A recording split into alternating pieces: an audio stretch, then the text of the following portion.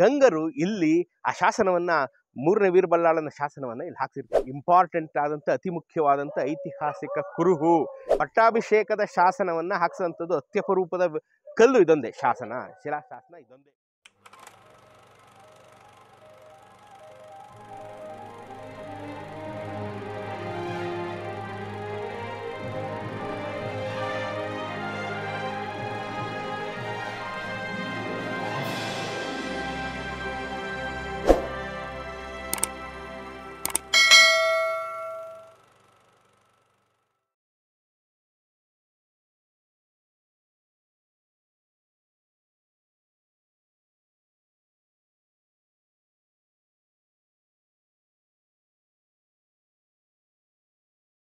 ಕುಮಾರ್ ಅರೇನಹಳ್ಳಿ ಇವತ್ತು ನಾನು ನಿಮ್ಮನ್ನ ಒಂದು ಬಹಳ ಐತಿಹಾಸಿಕವಾದಂತ ಶಾಸನವನ್ನ ತೋರಿಸೋದು ಕರ್ಕೊಂಡ್ಬಂದಿದ್ದೀನಿ ಉಳ್ಕೊಂಡಿರ್ತಕ್ಕಂಥ ಏಕೈಕ ಶಾಸನ.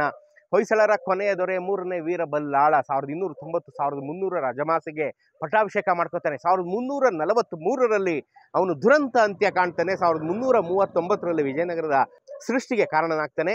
ಅವನು ಅಂಥ ವೀರ ದೊರೆ ಮೂರನೇ ವೀರಬಲ್ಲಾಳ ಪಟ್ಟಾಭಿಷೇಕ ಮಾಡ್ಕೊಂಡು ದಿನಕ್ಕೆ ಹಾಕಿಸಿದಂಥ ಶಾಸನ ನೀವು ಇಲ್ಲಿ ನೋಡ್ತಾ ಇದ್ದೀರಾ.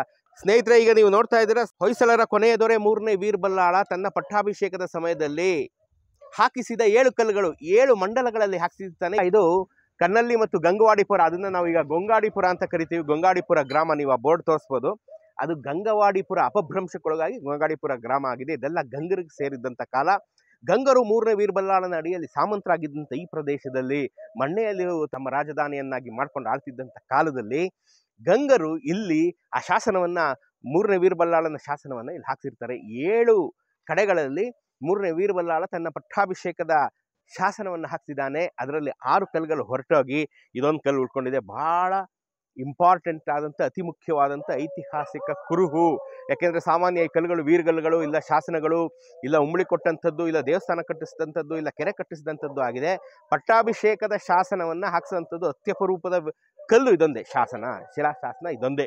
ಇದು ಈ ಗಂಗವಾಡಿಪುರದಲ್ಲಿದೆ. ಈ ಗಂಗವಾಡಿಪುರ ಕಣ್ಣಲ್ಲಿ ಗ್ರಾಮ ಕೆಂಪೇಗೌಡ ಲೇಔಟ್ ನೀವು ಬಂದರೆ ನೀವು ಉಪ್ಕಾರ್ ಲೇಔಟ್ ದಾಟ್ಕೊಂಡು ಬಂದರೆ ನೀವು ನಾಗರಬಾವಿಯಿಂದ ಉಪ್ಕಾರ್ ಲೇಔಟ್ ಅದನ್ನು ದಾಟ್ಕೊಂಡು ಬಂದರೆ ನಿಮಗೆ ಕೆಂಪೇಗೌಡ ಲೇಔಟ್ ಕಣ್ಣಲ್ಲಿ ಗ್ರಾಮ ಸಿಗುತ್ತೆ. ಅದರ ಬಲಗಡೆಗೆ ಗಂಗವಾಡಿಪುರ ಇದೆ. ಆ ಗಂಗವಾಡಿಪುರದ ತಿರುವಿನಲ್ಲಿ ನೀವು ಈ ಶಾಸನದ ಕಲ್ಲನ್ನು ನೋಡಬಹುದು.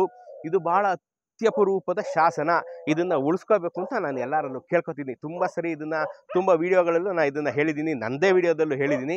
ಈ ಶಾಸನನ ಕಲ್ಲನ್ನು ಇಲ್ಲಿಂದ ಸ್ಥಳಾಂತರಿಸಿದ ದೇವಸ್ಥಾನ ಮದನಘಟ್ಟಮ್ಮ ಬಹಳ ಪ್ರಖ್ಯಾತವಾದಂಥ ಮದನಘಟ್ಟಮ್ಮ ದೇವಿ ದೇವಸ್ಥಾನ ಇಲ್ಲಿಂದ ಹತ್ತು ಹೆಜ್ಜೆ ದೂರದಲ್ಲಿದೆ ಅಷ್ಟೇ.